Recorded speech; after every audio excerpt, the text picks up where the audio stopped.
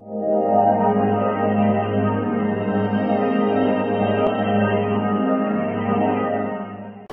kính chào quý vị và quý cư dân.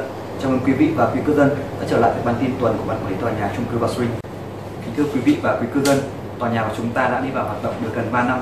Theo thời gian sử dụng sẽ có một số hạng mục cần được tu sửa và bảo hành thường xuyên nhằm mang tới cho quý cư dân một chất lượng sống đảm bảo, an toàn và thân thiện. Ban quản lý tòa nhà luôn nỗ lực hết mình mang lại cho quý cư dân một chất lượng sống ổn định. Về việc chống thấm dột định kỳ cho mái đón canopy, tuần vừa qua bộ phận kỹ thuật tòa nhà đã bắn silicon để chống thấm dột tại mái canopy ở sân trung tâm và sân chơi trẻ em tầng 12 block B. Công việc được thực hiện trong 2 ngày 14 và 15 tháng 11 2016. Tất cả những vị trí rò rỉ nước khi trời mưa đều được bộ phận kỹ thuật kiểm tra kỹ lưỡng và bắn silicon bổ sung.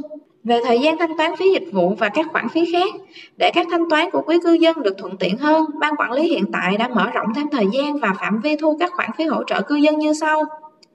Truyền hình cáp SCTV thanh toán từ ngày 5 đến ngày 20 hàng tháng. Internet Viettel FPT thanh toán từ ngày 8 đến ngày 22 hàng tháng. Ngoài khoảng thời gian quy định của nhà cung cấp nêu trên, chúng tôi sẽ hỗ trợ nộp tiền giúp cho cư dân tại văn phòng ban quản lý tòa nhà. Tuy nhiên, xin quý vị lưu ý rằng, việc này không đảm bảo nếu nhà cung cấp quyết định ngừng cung cấp dịch vụ cho quý vị trễ thời hạn do nhà cung cấp nêu ra. Đối với các khoản phí như điện, nước, thời hạn thanh toán bắt đầu từ ngày 25 đến ngày 5 của tháng tiếp theo.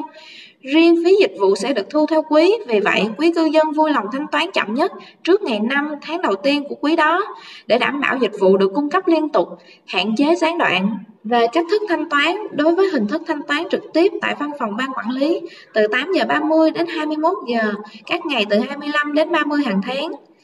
Các ngày còn lại, chúng tôi sẽ thu phí trong giờ hành chính. Đối với hình thức thanh toán chuyển khoản, các dịch vụ điện, truyền hình cáp, Internet, quý cư dân có thể chuyển khoản trực tiếp qua Internet Banking cho nhà cung cấp. Phí dịch vụ và tiền nước, phí gửi xe, quý cư dân vui lòng chuyển khoản cho quỹ quản lý với thông tin như sau.